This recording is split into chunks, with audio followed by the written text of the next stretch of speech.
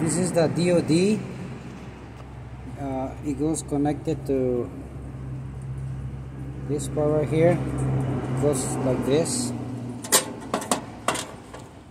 So if you to replace it all you gotta do is take the screw out and then unplug it from here and then it comes out.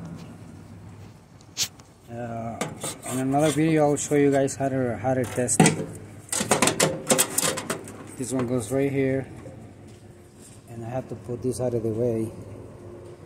And then after that I'm gonna put the I already have my I re, this is a new one too. Goes right there. Like that. It goes like that. There's electrical connections. And this is for the limiter switch and then this one right here is for the capacitor